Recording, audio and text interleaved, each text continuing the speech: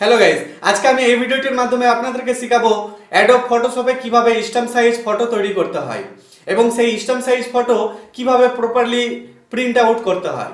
তো পুরো বিস্তারিত আমি এই ভিডিওটির মাধ্যমে আপনাদেরকে শেখানোর চেষ্টা করছি। তবে আপনাদের কাছে আমি একটাই রিকোয়েস্ট করব যে ভিডিওটি শুরু থেকে শেষ পর্যন্ত সম্পূর্ণ দেখবেন। কারণ আমি অনেকগুলো শর্টকাট কি বলেছি, অনেক কিছু ট্রিক্স বলেছি। অনেক কিছুই বলেছি ভিডিওতে। দেখুন তাহলে বুঝতে পারবেন কত কিছু বলেছি এবং আশা করছি আপনারা খুব হান্ড্রেড পার্সেন্ট খুব সহজে শিখে যেতে পারবেন। তো দেখুন, আমি চলে এলাম আমার ডেস্কটপ স্ক্রিনে এবার আমি ওপেন করে নিচ্ছি অ্যাডব ফটোশপ তো দেখুন Adobe Photoshop seven point zero open হয়ে গেছে। এবার যে ছবিটাকে আমি স্টাম্প সাইজ বানাতে চাইছি, সেই ছবিটাকে নিয়ে আসব। তো নিয়ে আসার জন্য এই যে ব্ল্যাঙ্ক ফাঁকা জায়গাটায় ডবল ক্লিক করবেন। অথবা ফাইল মেনুতে গিয়ে ওপেনে ক্লিক করবেন অথবা কন্ট্রোল দেবে, ও প্রেস করলেও চলে আসে। তা আমি ডবল ক্লিক করে করছি, তো ডবল ক্লিক করলাম। এবার যে ছবিটাকে আমরা স্টাম্প সাইজ বানাতে চাইছি, সেই ছবিটা সিলেকশন করে নিব। দেখি কোথায় আছে ছবিটাকে। এই যে ছবিটা, আমাদের স্টুডিওতে তোলা। এই ছবিটা ওপেন করে নিচ্ছি, দেখুন এখানে চলে এসেছে। তো এই যে ছবিটা চলে এসেছে, এই ছবিটাকে আপনাদেরকে আমি দেখাচ্ছি, স্টাম্প সাইজ কীভাবে ফটো বানাবো। তো স্টাম্প সাইজ ফটো বানানোর জন্য প্রথমত আপনাদেরকে সাইজটা আমি দেখিয়ে দিচ্ছি, গুগল কি বলছে সাইজটা। অ্যাকচুয়াল স্টাম্প সাইজ কত সেটা গুগলে আমি সার্চ করে দেখিয়ে দিচ্ছি আপনাকে। দেখুন, আমি লিখছি stamp size photo in centimetre. তো দেখুন, এখানে দেখিয়ে দিচ্ছে, some stamp size photo dimension দিয়ে দিয়েছে এখানে স্ট্যাম্প সাইজ হচ্ছে দুই সেন্টিমিটার ইন্টু আড়াই সেন্টিমিটার আর নর্মাল স্ট্যাম্প সাইজটা হচ্ছে আড়াই ইন্টু তিন সেন্টিমিটার প্যান কার্ডের লাগে আমাদের আড়াই সেন্টিমিটার ইন্টু সাড়ে তিন সেন্টিমিটার তো আমি যেটা ইউজ করব সেটা হচ্ছে এটা।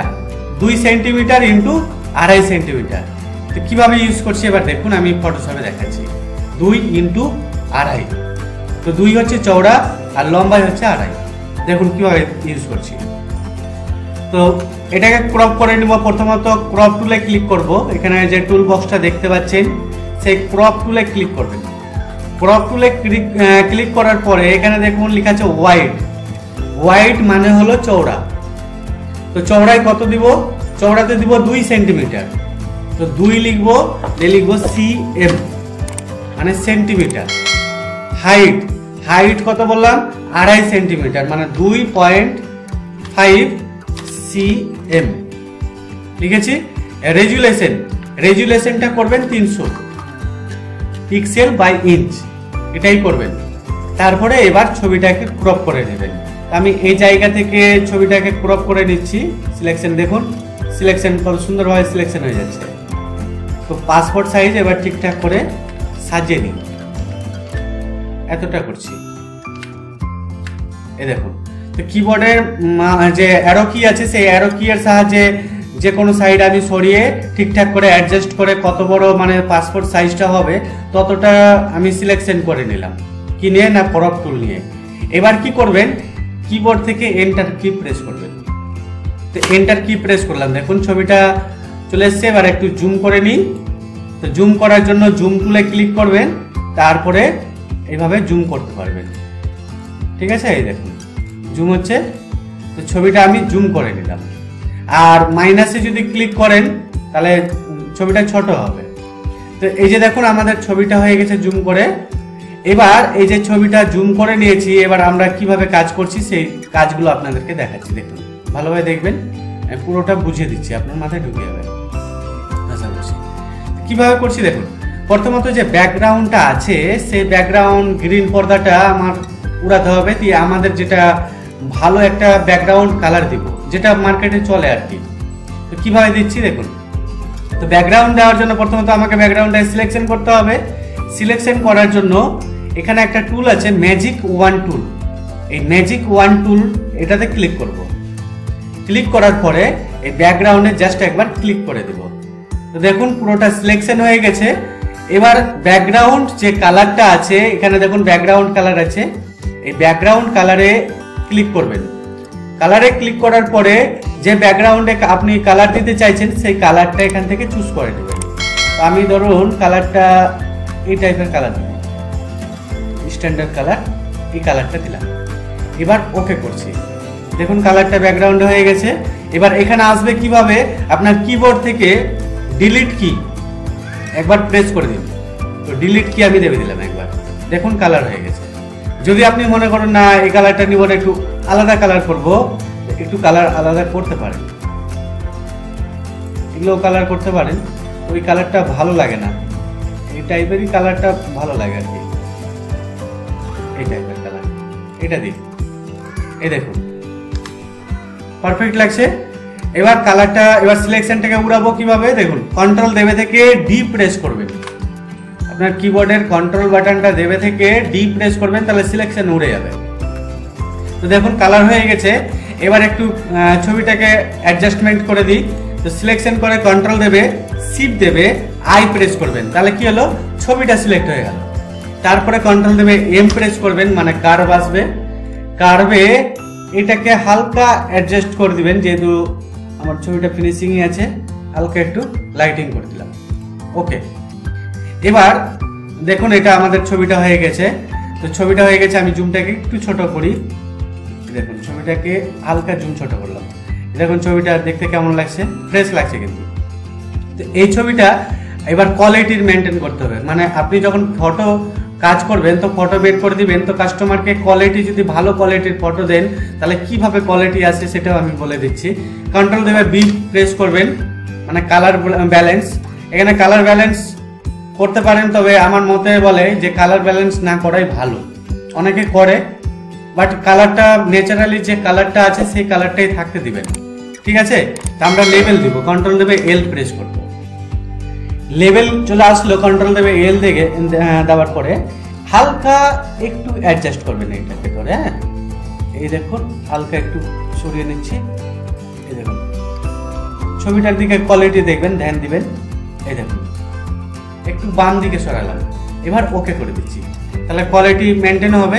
এরপরে যে কাজটা করব আমি ইমেজ মেনুতে যাব, দিয়ে অ্যাডজাস্টমেন্টে যাব, দিয়ে সিলেক্টিভ কালার এই সিলেক্টিভ কালারটা দিলে আপনার কোয়ালিটি মানে খুব সুন্দর কোয়ালিটি একবারে এইচডি কোয়ালিটি আসবে দেখুন। তো এই কালারটা রেড আছে। তো রেডটাকে করতে হবে ইয়েলো তো ইয়েলো করলাম দেখুন, এবার ওকে করে দিচ্ছি। হয়ে গেছে? তাহলে আমাদের এই ছবিটা কমপ্লিট এবার ছবিটার মধ্যে দিব বর্ডার কীভাবে দিব? না, এই টুলটা নিব রেক্টাঙ্গুলার মার্কিং টুল এই টুলটা নিয়ে ছবিটাকে সিলেকশন করে নেব। আমি আস্তে আস্তেই বলছি কিন্তু হ্যাঁ? যাতে আপনারা বুঝতে পারেন। সিলেকশন করলাম, এবার ছবিটার উপর রাইট ক্লিক করবেন। রাইট ক্লিক করার পরে স্ট্রোকে ক্লিক করব। যে কালারটা আছে এটাকে ব্ল্যাক করে দেবেন। ব্ল্যাক করলাম, আর এটা পিক্সেলটাকে দুই বা তিন পিক্সেল রাখবেন। থ্রি পিক্সেল রাখলাম দিয়ে ওকে করে দিবেন। দেখুন বর্ডার পড়েছে কন্ট্রোল দেবে টি প্রেস করে উড়ালাম দেখুন, হালকা একটা বর্ডার পড়ে গেছে চার সাইডে তাহলে আমাদের ছবি প্রায় কমপ্লিট এবার কীভাবে প্রিন্ট আউট দিব? তো প্রিন্ট আউট দেওয়ার জন্য ফাইলে ক্লিক করে আমি নিউ পেজ নিব একটা। নিউ পেজ আমি নিব ছয় বাই, চার বাই ছয় পেজ। এই পেজে আমি প্রিন্ট আউট করব, চার বাই ছয়। ওকে করছি। তো দেখুন, চার বাই ছয় পেজটা চলে এসছে। এবার এই জায়গাতে আমি ফটোটা নিয়ে আসছি। দেখুন কীভাবে মুভ তুলে ক্লিক আছে। এবার এই ছবিটাকে জাস্ট ধরে নিয়ে গিয়ে এখানে গিয়ে ছেড়ে দেবো ধরলাম, ছবিটাকে ক্লিক করে নিয়ে গিয়ে এখানে ছেড়ে দিচ্ছি। দেখুন। দেখুন, ছবিটা চলে এলো। তো ছবিটা এখানে বসে দিচ্ছি, আমি একটু জুম করে দিই, আপনারা যাতে ভালো বুঝতে পারবেন, যেহেতু ইউটিউবে দেখছেন ভিডিওটা, ভিডিওর মাধ্যমে। তো একটু জুম করে দিলাম, এই দেখুন ছবিটা। যখন ছবিটা বসে গেল, এবার ঠিকঠাক করে আমি এটাকে একটু সাইডে রাখি, এই দেখুন। তাহলে দেখতে পাচ্ছেন এবার? এবার ঠিকঠাক করে এভাবে বসিয়ে দিলাম। এক কপি হলো, এটাকে অল্টার দেবে থেকে আর এক কপি টানবেন ক্লিক করে মাউস দিয়ে আর এক কপি চলে এলো। বসালাম। আর এক কপি যদি আমি করি এখানে রাখলাম। আর এক কপি নিচ্ছি। তো অল্টার বাটন দেবে থাকলাম তারপর ক্লিক করে এভাবে টানছি। দেখুন আর এক কপি চলে এলো। তিন কপি আমি ছয় কপি বের করব এটা। আর এক কপি বের করব অল্টার দেবে থেকে। দেখুন। অল্টার দেবে আহ, দেবে থাকব। দিয়ে এভাবে টানবো। চার কপি হলো আর দুই কপি অল্টার দেবে থেকে এভাবে টানবেন। নিচে রেখে দিচ্ছি। আর এক কপি তাহলে আমার কাস্টমার এই ছয় কপি বের করতে দিয়েছে। দেখুন, ছয় কপি আমি বের করে নিচ্ছি। এবার কি করব? এটা হয়ে গেল, এবার প্রিন্ট আউট দিব। প্রিন্ট আউট দেওয়ার জন্য সিম্পলি ফাইলে ক্লিক করে কি করব? প্রিন্টে ক্লিক করব। বা আপনি প্রিন্ট করবেন, এই যে প্রিন্ট উইথ প্রিভিউ বা কন্ট্রোল পি প্রেস করলেও করতে পারেন। তো এখন চলে এসছে।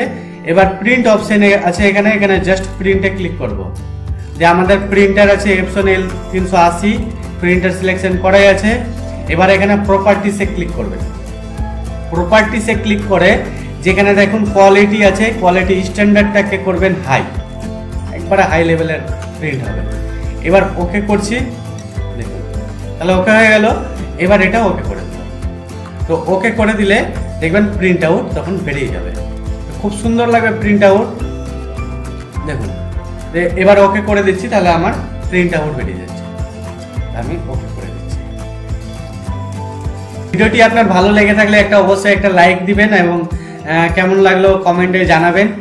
আর আপনি যদি আমাদের চ্যানেলে নতুন হয়ে থাকেন চ্যানেলটিকে অবশ্যই সাবস্ক্রাইব করবেন এবং পাশের বেল আইকনটাও ওপেন করে দেবেন অন করে দেবেন।